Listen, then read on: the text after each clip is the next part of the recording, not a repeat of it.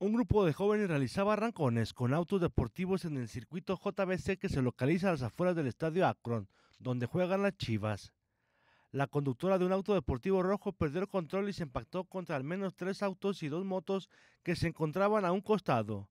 El saldo, según relató el comandante de Zapopan, Prisciliano González, fue de un joven muerto y seis lesionados, dos de ellos de gravedad, mismos que fueron llevados a diferentes puestos de socorro para su atención médica.